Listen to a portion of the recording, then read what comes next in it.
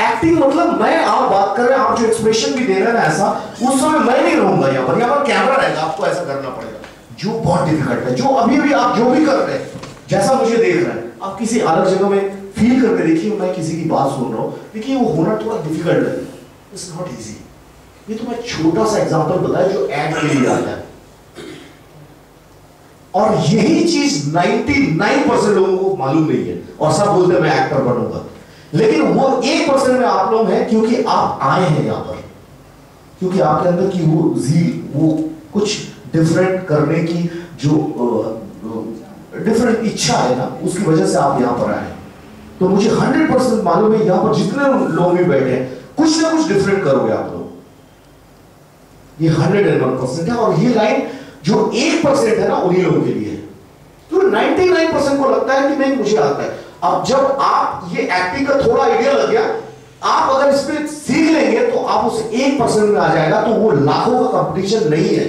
जो हम लोग सोचते हैं ना, वो तो हज़ारों लोग जाते हैं, ये करते हैं।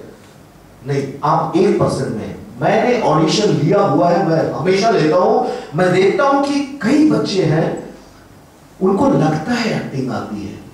क्योंकि बोलते हैं कि चलो यार दे के आते हैं ऑडिशन लेकिन अल्टीमेट तो फिर हमें मिलता क्यों नहीं है?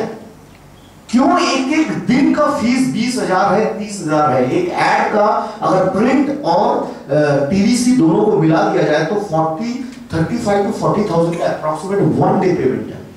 क्यों इतना ज़्यादा है मुझे बताइए। इसका कारण है अगर इतना आसान होता तो इतना पेमेंट नहीं होता। मेरी बात से सहमत है आप?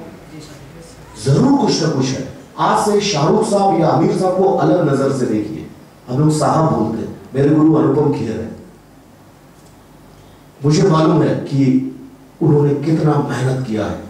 पाँच, तीन साल, चार साल एनएसडी में किया कोर्स उसके बाद लखनऊ में उन्होंने पढ़ाया गोल्ड मेडलिस्ट थे, उसके बाद माहिम स्टेशन में उनको कंबल रोड के सोना पड़ा बॉम्बे में उनके पास पैसे नहीं थे। लेकिन उन्होंने छोड़ा नहीं लाइन को। फिर सारांश मिली, फिर अभी तो बहुत